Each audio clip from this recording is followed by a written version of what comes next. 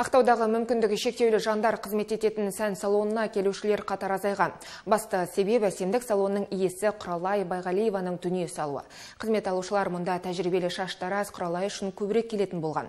Анасының өмірден өтуіне байланысты салон жұмысын қолға алған балалары қала тұрғындары әлі де жүгелі жандардың жұмысына қолдау көрсетсе деген тілекте. Тақырыптар тесім ақсындар табылды тарқатады. Әсемдік салонының ерекшелігі мұнда тек мүмкіндігі шектеулі жандар қызмет етеді.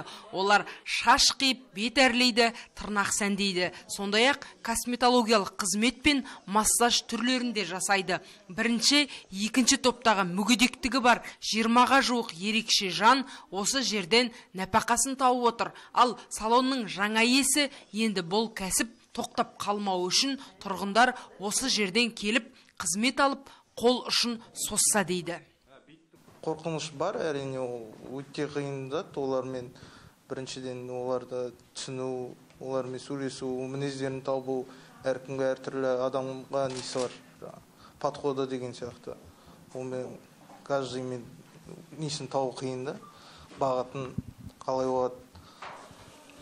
Сол сондайларды енді барынша көмектесіп жатырмын. Қолымнан келгенше маңғыстау халқынан не үшін көмек сұраймыз? Потому что в основном клиент клиентская база. Енді ол мамамда мысалы отыз жылдан астам стажы бар да. Көбісі сол клиент клиенттері осыларға отырғызады көбісі уже клиенттеріне отырғызады в основном сол жақтан келеді да поток. Из за этого соған бізге неге қиын болып кетті да иә. Уже иә сол увеличить ету керек.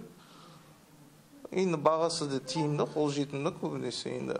Мүмкіндігі шектеулі жандарға ай сайын үкімет тарапынан еңбекақы тағайындалса марқұм салон иесі жұмыстары үшін алатын ақыларының елу пайызын беріп отырған. 2022 года бұл жерге 2022 жылдың қарашасында келдім. Бір ай оқып шаштараз мамандығын меңгердім.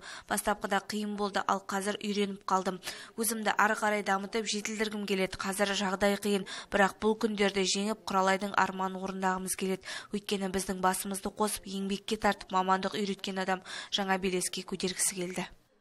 Салон иесінің өмірден өтуіне байланысты кәсіп қайта рәсімдеуден өтуі керек. Рәсімдеу аяқталғанда әлеуметтік көмектерді де алады. Рәсімдеу жүргізіп жатыр ол кісілер. Біздің хабарымыз бар біз күнделікті хабарда ол кісілермен бағыт бағдар беріп жұмыс жасап жатырмыз. Жұмыс жалғасады иә. Сол орталықты ашқалы бер өте тығыз қарым қатынаста жұмыс жасап келе жатырмыз. Енді ол жердегі негізгі қызметті көрсетіп отырған адамдар жаңағы мүмкіндігі мүгедектігі бар азаматтар ғой.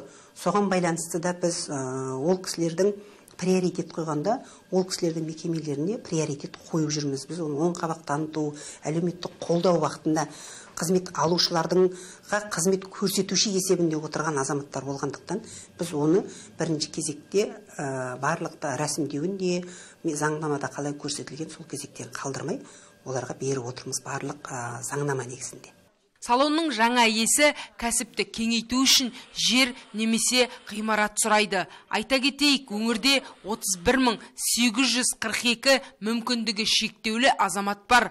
Өткен жылы олардың 2300-і жұмысқа орналасқан. Ақсындар табылды. Амангелді тұрахмет дидар.